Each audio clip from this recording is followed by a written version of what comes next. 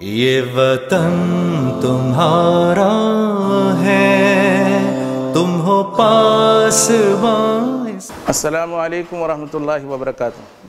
عزیز ہم وطنوں، یوم آزادی کے اس موقع پر میں اپنے اور اپنے ادارے جامع رشید کی جانب سے آپ تمام حضرات کو اور خصوصی طور پہ تاجر برادری کو مبارکباد پیش کرتا ہوں۔ پاکستان ایک اسلامی نظریاتی ریاست ہے۔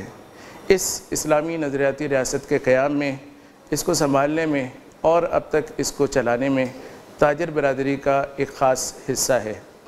رسول اللہ صلی اللہ علیہ وسلم تاجر طبقے کو بہت اہمیت دیتے تھے۔ آپ صلی اللہ علیہ وسلم نے ارشاد فرمایا، الید العلیٰ خیر من الید السفلہ کہ اوپر والا ہاتھ نیچے والے ہاتھ سے بہتر ہے، دینے والا ہاتھ لینے والے ہاتھ سے بہتر ہے۔ تو تاجر برادری جو ہے وہ پوری قوم کو دیتی ہے۔ حکومت کو ٹیکس کی شکل میں، زکوٰۃ، عطیات اور ڈونیشنز کی شکل میں اور اسپانسرشپ کی شکل میں ہر طریقے سے وہ ملک کے اندر جو معاشی مسائل ہوتے ہیں اور جو تعلیمی، سماجی مسائل ہوتے ہیں، ان سب میں اپنا حصہ اور کردار ادا کرتی ہے۔ اسی طریقے سے رسول اللہ صلی اللہ علیہ وسلم نے آپ کی دینی اہمیت بھی بیان فرمائی ہے۔ رسول اللہ صلی اللہ علیہ وسلم نے ارشاد فرمایا التاجر الصدوق الامین مع النبیین و صدیقین و شہداء کہ جو تاجر صداقت اور امانت کے ساتھ تجارت کرتا ہے، تو وہ عام نیکوکاروں کے ساتھ نہیں ہوگا، بلکہ وہ انبیاء علیہ السلام، صدیقین اور شہداء جیسے لوگوں کے ساتھ ہوگا۔ تو آپ کی دنیاوی اہمیت بھی ہے اور آپ کی دینی اہمیت بھی ہے۔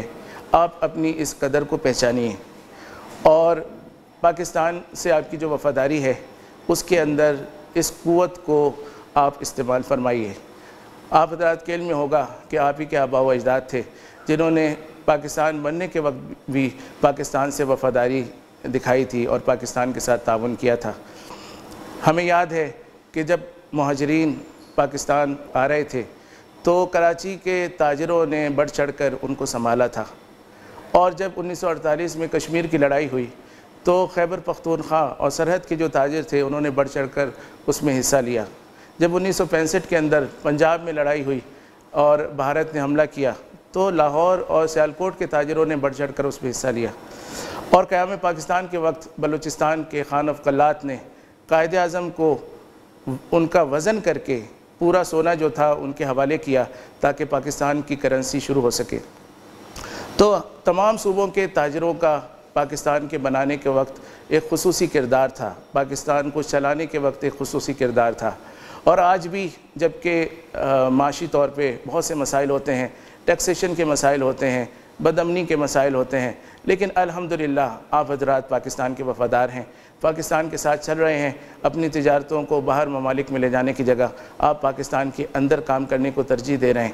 آپ لائق ستائش ہیں۔ جامعۃ الرشید اس بات کی اہمیت کو سمجھتا ہے اور جامعۃ الرشید یہ چاہتا ہے کہ یوم آزادی کے اس موقع پر آپ پاکستان سے اس وفاداری کی تجدید کریں اور پاکستان کے ساتھ اپنی وفاداری کو قائم و دائم رکھیں۔ اللہ تعالیٰ آپ کی خدمات کو قبول فرمائیں آپ اگر اس سلسلے میں کسی قسم کی کوئی شرعی رہنمائی چاہیں گے، آپ کسی قسم کا تحقیقی تعاون چاہیں گے، تو جامعۃ الرشید کے کئی شعبے کیمس ہے، مینجمنٹ سائنسز کا ادارہ ہے فک المعاملات ہے جو کہ بزنس کے حوالے سے شریعہ کی رہنمائی دیتا ہے اور اسی طریقے سے ایس سی ایس ہے، شریعہ consultancy service for trade and finance ہے اور حلال فاؤنڈیشن ہے جو کہ حلال فوڈز کے حوالے سے رہنمائی کرتا ہے۔ تو بہت سارے ادارے ہیں جو آپ کے ساتھ مل بیٹھ کر پاکستان کو آگے بڑھانے کے لیے کام کر سکتے ہیں۔ اللہ تعالی ہم اس، ہم سب کو آپس میں مل کر پاکستان کی تعمیر کرنے کی توفیق عطا فرمائیں پاکستان زندہ باد۔